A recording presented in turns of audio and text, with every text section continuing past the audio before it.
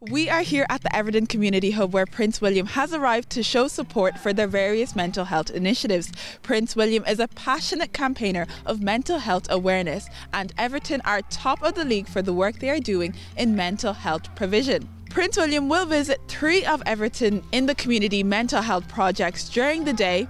They include Stand Together, which tackles social isolation in people over 70, Everton's Veteran Hub, which aims to engage ex personnel back into the community, and Tackling the Blues, a sport and education programme for young people between the ages of 6 and 16.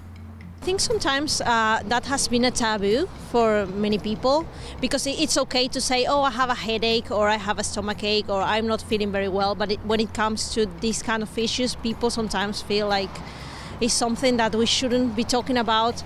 And it's quite important because actually there's people suffering out there with this kind of problems. So I, I think it's a very good initiative of them. There's such a lot around these days, isn't there? You know, there's no work for these young lads or girls and they're just left in the houses or, or walking the streets, you know, nowhere to go. There's no clubs apart from this one here, you know. I'd like to see more youth clubs so that anyone can join and it could stop a lot of this knife crime as well, couldn't it?